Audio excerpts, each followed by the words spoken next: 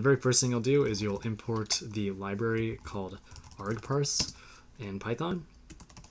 And the next thing you'll do is you'll declare an actual parser object. So we'll do parser gets argparse dot argument parser. And then um, you don't really need to supply any parameters here, but you can. Uh, in my case, I will define a description and we'll call this a test adder.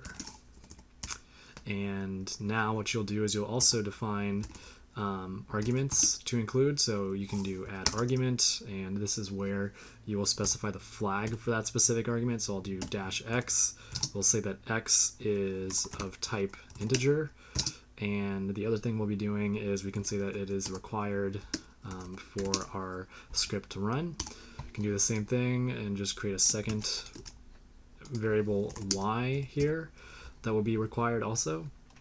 And now what you'll do is you will grab the arguments that the parser object will have within it by doing the following. You will do args gets parser dot and then um, parse args, pretty self-explanatory.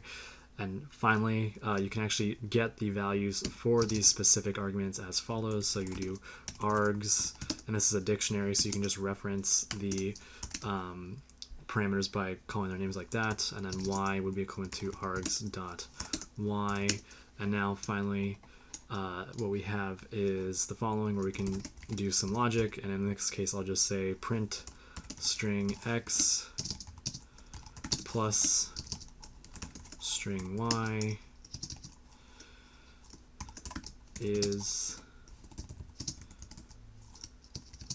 string x plus y.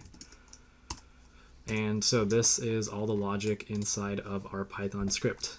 And so now what we're going to do is inside of a terminal window, in this case uh, I'm in, using Windows, I've navigated to the root directory of my project. Uh, I will do the following where I can just say py and then the name of this script, which in my case is test.py. And then when you'll note when I run this is that I get an error because I haven't supplied required arguments to my actual uh, script. So what I can do to resolve this is uh, add in those flags. So dash x, and I'll say 1, and then I'll do dash y, and I'll say y is 2. And now we can see that 1 plus 2 is 3 using the argument parsing uh, library of Python. And so that is going to wrap things up for this introductory video. Hope that you guys find it useful, and thank you all for watching.